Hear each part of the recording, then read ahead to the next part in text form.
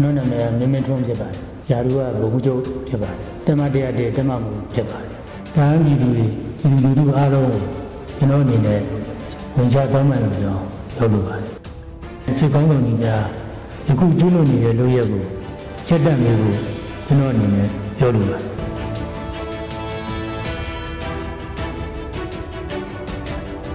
ကျွန်တော်နာမည်ကမင်းမင်းထွန်းဖြစ်ပါတယ်။ယာရုကဘုံမှုချုပ်ဖြစ်ပါတယ်။ဒါဝင်ကတော့ တမတရားတည်းတမမှု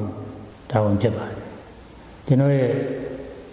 ဝေရတာကြီးကတော့ပသိမ်မျိုးဖြစ်ပါတယ်1996ခုမေလ6ရက်နေ့မှာလူဖွာပါတယ်ဟောသက်40ရှင်းနေရှိပါတယ်မိဘနှစ်ပါးအနေနဲ့တော့အဖေကတော့ကွယ်လွန်သွားပြီဖြစ်ပါတယ်အမေကတော့လက်ရှိရှိနေပါအသက်80ကျော်ရှိပါတယ်ကျွန်တော်ကငွေချင်းမောင်နှမ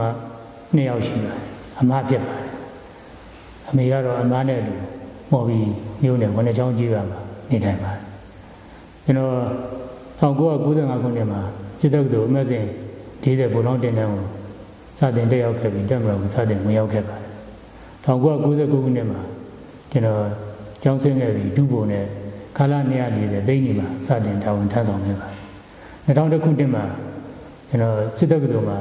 မဟာသိပ္ပံတက်ရင်းနဲ့အဲဒီမှာပဲဘုံလုံးနိပြတာဝန်ထမ်းဆောင်ခဲ့ပါတယ်2008ခုနှစ်တည်းဖြစ်ပါတယ် 2008ခုနှစ်မှာတော့ကျွန်တော်ခါလာ158တမတရားတဲ့ကိုကဲမှုအောက်မှာကျွန်တော်ပုံမှုနဲ့တာဝန်ထမ်းဆောင်နေပါတယ်2009ခုနှစ်မှာ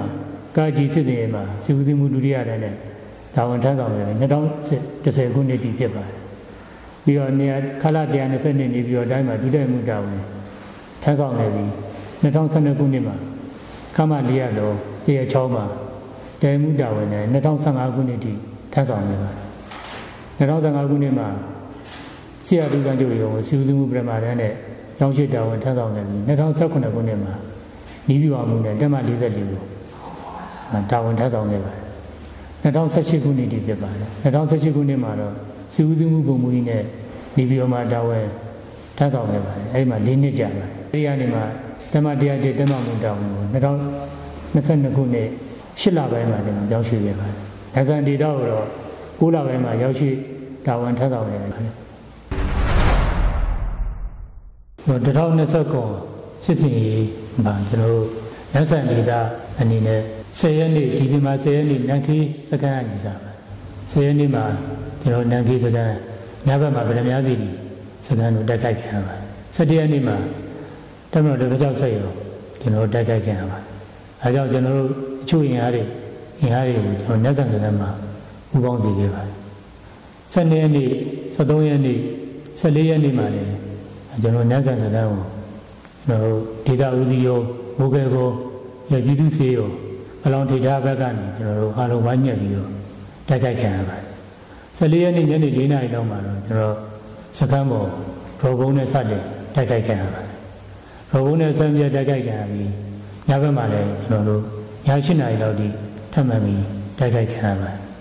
15ရက်နေ့မှာတော့အနည်း8နာရီကျော်လောက်ကနေစပြီးကျွန်တော်တို့လက်စင်ဂုံဘက်ကနေမှအင်အားလုံးရင်းနဲ့တိုက်ခိုက်ခံရရင်ဒီဒိုဘုံနဲ့တိုက်ခိုက်ခံရရင်ကကြောင့်ပြအားလည်းမမျှတဲ့အတွက်ကျွန်တော်ပါဝင်ရရှိစစ်တီများစခန်းရဲ့တောင်ဘက်မျက်နှာစာကနေဆုတ်ခွာခဲ့ပါတယ်စတင်ဆုတ်ခွာခြင်းမှာဒါတင်အရရှိစစ်တီတွေဥစွာဆုတ်ခွာစီလေပြီးတော့နောက်ဆုံးမှဆုတ်ခွာခဲ့ပါတယ်။လောင်မင်းသားကြီးရနာကိုရောက်တဲ့အချိန်မှာထပ်မံပြီးတော့ပြည့်ကတ်တိုက်ရတယ်လူစုကွဲသွားပြီ။ အဲဒီနားမှာပဲဒီဘက်ကင်းတောင်ကြားရှူထဲမှာပဲကျွန်တော်အခြေပြုခဲ့ပါတယ်။အနေမူလေးတော့ကျွန်တော်ကွဲသွားတဲ့အဖွဲ့တွေကိုပြန်ဆက်သွယ်နေတော့မှပဲကျွန်တော်အဲဒီမှာဖန်တီးကျွန်တော်ပါဝင်ရရှိစစ်တီများဖန်တီးရင်းကိုခံခဲ့ရပါတယ်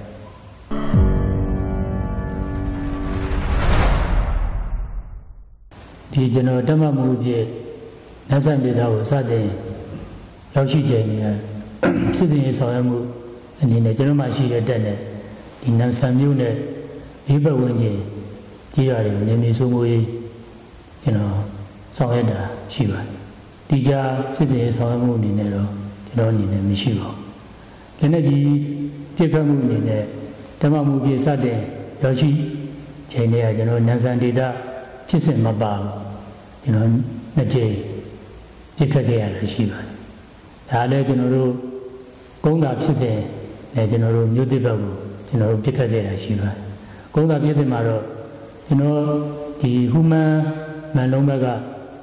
ကျွန်တော်တို့ရှိတဲ့ကျွန်တော်တို့တက်တွေရဲ့နောက်ကျောလုံခြုံရေးအတွက်ကို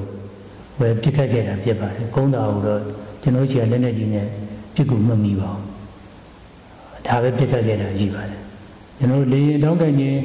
အိတ်ကအနေနဲ့ကတော့ကျွန်တော်အနေနဲ့လေရင်တောင်းခံလို့မရပါဘူးပြစ်ကူပြတာ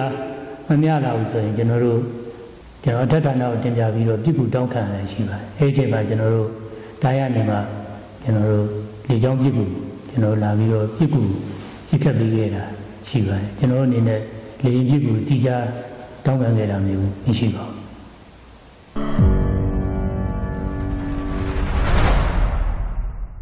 နန်းစံဒေတာဖြစ်စဉ်တွေမှာကျွန်တော်တမရောဘက်က energy တွေနဲ့ရခတ်မှု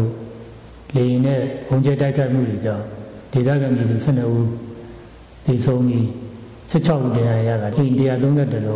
ရည်စည်းဆုံးရှုံးတယ်လို့ကျွန်တော်သိရှိရပါတယ်အဲ့အတွက်လည်းရဟကစိတ်မကောဖြစ်ရကြောင်းကျွန်တော်အနေနဲ့ပြောလိုပါတယ်ကျွန်တော်အနေနဲ့ဒီဒေသခံပြည်သူလူထုနဲ့နေနေပေါ်မှာ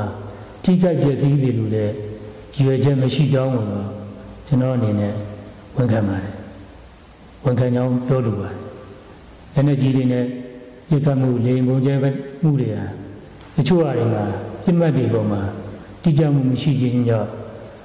ဒါပျက်စီးရလို့ဒီလိုထိခိုက်တရားရတယ်လို့ကျွန်တော်အနေနဲ့ရိုးသားတာဝန်ခံပါတယ်။ဘယ်လိုပဲဖြစ်ဖြစ်ဒီဒေတာအတွင်းမှာဖြစ်ခဲ့တဲ့ဖြစ်စဉ်တွေဟာဒီဒေတာမှာတာဝန်ထမ်းဆောင်တဲ့ကျွန်တော်မှာတာဝန်ရှိဆုံးဖြစ်ပါတယ်။ဒါကြောင့်ဒီဒေသမှာနေထိုင်တဲ့ တန်းပြည်သူတွေပြည်သူလူထုအားလုံးကိုကျွန်တော်အနေနဲ့ဝင်ချတောင်းပန်လို့ကြောင်းပြောလိုပါတယ်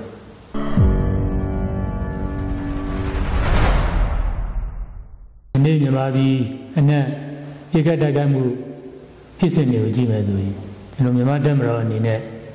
မြန်မာပြည်တိုင်းရင်းသားပြည်သူလူထုကိုကျန်းတန်းရက်သက်စွာဖန်တီးတက်ပြတ်ခြင်းအချင်းချခြင်းညာကျွန်တော်တို့ရှိနေပါတယ်ဒါအပြင်ကျွန်တော်တို့ လေကြောင်းကတိုက်ခတ်ခြင်းလက်နက်ကြီးများနဲ့လူထုကိုပြစ်ခတ်ချီမုန်းခြင်းစတဲ့ဆရာဝေမှုမျိုးစုံကိုလည်းကျွန်တော်တို့ကျူးလွန်နေပါတယ်ဒါကြောင့်ဆရာဝေမှုမျိုးစုံကိုကျူးလွန်နေတဲ့ကျွန်တော်မြန်မာတက်မတော်ဒီကောင်းဆောင်ကြီးများပြကြတဲ့တက်မတော်ကဝေဦးကြီးချုပ်ဝေယမှုကြီးမင်းအောင်လှိုင်နဲ့တကွဒုတိယတက်မတော်ကဝေဦးကြီးချုပ်နဲ့ကျန်စစ်ကောင်းဆောင်ကြီးများအားလုံးကိုလည်းယခုကျူးလွန်နေတဲ့လုပ်ရက်ကိုချက်တက်မိဖို့ မြန်မာပြည်သူများအားလုံးကိုသာကျွန်တော်အနေနဲ့ပြောလိုပါတယ်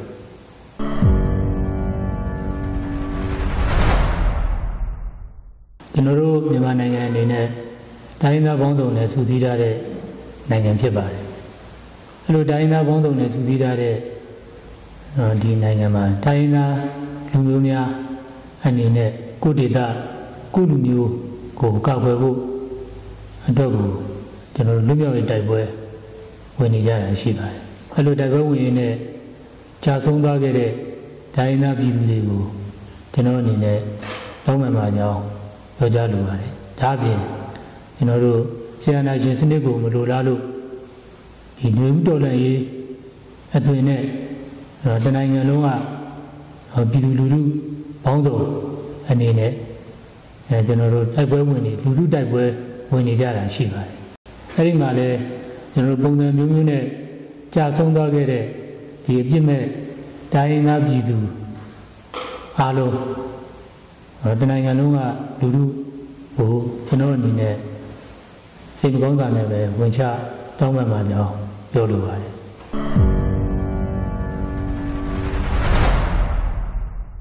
ကျွန်တော်တို့မြန်မာနိုင်ငံအနေနဲ့လူလက်ရပြီးချိန်အစပြီးတော့ကျွန်တော်တို့တိုင်းသားလက်နက်ကိုင်နေနဲ့ မြမတက်မတော်ကြားဖြစ်ပွားနေတဲ့ဒီပြည်တွင်းစစ်တွေနဲ့ပဲကျွန်တော်တို့ကနှစ်ပေါင်း90ကျော်ကြာမြင့်နေပြီဖြစ်ပါတယ်။ဒါကြောင့်ဒီပြည်တွင်းစစ်တွေကိုအခုချိန်မှာအဆုံးသတ်ဖို့ကျွန်တော်တို့လိုအပ်နေပြီဖြစ်ပါတယ်။ဒီလိုပြည်တွင်းစစ်တွေဖြစ်ပွားနေတဲ့နိုင်ငံကကျွန်တော်တို့အဖက်ဖက်ကနေကုမျိုးတိုးတက်မှုနောက်ကျနေရတဲ့ပြင်ကမ္ဘာ့တယ်မှာလည်းညနာမပေါ်ဝင်တော့ကျွန်တော်တို့ဖြစ်နေပါတယ်။ ဒါကြောင့်အခုချိန်မှာကျွန်တော်တို့ပြည်တွင်းစစ်ကိုအဆုံးသတ်ဖို့ဆိုရင်ကျွန်တော်တို့တိုင်းတက်ဖွဲ့ဌာနအသီးသီးနေရာအသီးသီးမှာတာဝန်